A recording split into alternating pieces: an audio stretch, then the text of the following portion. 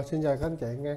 Hôm nay thì cho phép 10 giới thiệu một website công ty dân Mỹ đã làm. Đó là đó là một cái dạng website mình đã nâng cấp à, website từ website cũ đến website mới với giao diện mới ha. Một cái dạng website vào vặt, ăn vặt ha. À, website bán đủ thứ liên quan tới à, đồ ăn vặt cũng như là cái đồ ngon ở cái xứ sở à, đất nước hình chữ S ha. Đất nước hình chữ S chúng ta thì có rất nhiều món ngon vạn vặt và thế giới rất là tập trồ rất thích. Chúng ta làm gì với cái sản phẩm này? Đó, thì chúng tôi, khi chúng tôi đổi một cái trang web này với một cái giao diện thế này thì mọi người thấy rằng là là một cái trang cách rất là xì tin. Và nó sẽ có được một cái thứ rất hay ho đó là khi chúng ta đưa một sản phẩm vào thì người ta tưởng tượng rằng đây là món rất là ngon, ha.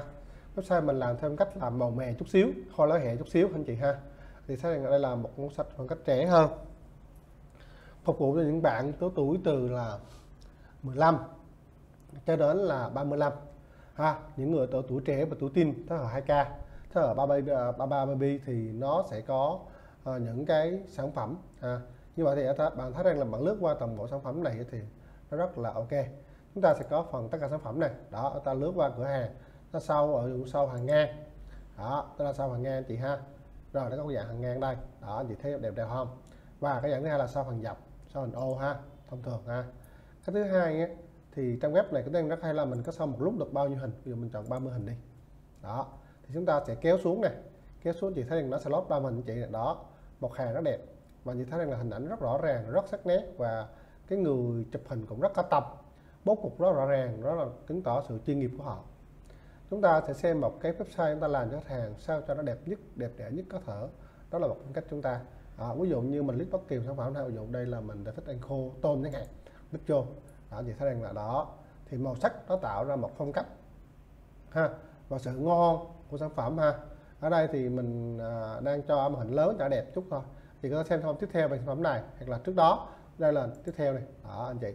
Và đây là trước đó chị ha. Ok chưa? Ok chưa? Đó rất đẹp anh chị. Thấy chưa? Ok. Đó ở đây nó sản phẩm tương tự. Đó. Ở đây mình có thể chọn theo ờ, menu ví dụ như sản phẩm cho heo ha phẩm heo sản phẩm từ heo ha. À, xin lỗi từ hạt xin lỗi tôi nói nhầm từ rồi. Và sản phẩm từ cá này anh chị ha. Cá ha. Sản phẩm từ thịt khô và thịt nguội. Đó. Đây là sản phẩm rất là ngon anh chị. Và chúng tôi thấy rằng là tôi rất thích những sản phẩm này vì giá cả vì chất lượng và vì hình ảnh. Nó làm rất là đẹp. Chúng tôi tự hào rằng chúng tôi đã làm một xe cho khách hàng có những cái phong cách khác nhau hoàn toàn mới và chuyển cho khách hàng những cái giao diện mới theo phong cách của năm mới ở đây mọi người có thể đặt hàng bán bán hàng đặt hàng qua app hàng thanh toán. Ở đây có đầy đủ thông tin. Thì thấy chưa? Đây là một cái cách à, bán hàng online theo xu hướng là thời hiện đại này thì mọi việc chúng ta đều mua internet. Nếu anh chị có nhu cầu làm website theo dạng bán hàng thế này anh vặt bà vặt thì cứ call cho công ty Nhân Mỹ theo số hotline là 0908 134 772 mình xin phép là dừng cái phần video giới thiệu cái cái à, website công ty Nhân Mỹ đã update cho khách hàng à, như thế này. Và nếu anh chị có nhu cầu update cho đổi giao diện mới đổi bất kỳ hoặc là thiết kế trang web mới thì cứ gọi cho công ty Nhân Mỹ hoặc truy cập vào đường link à, bên dưới đó là nhân mỹ.com anh chị sẽ xem được mọi đầy đủ những thông tin mà à, chúng tôi đã làm việc cho rất nhiều khách hàng.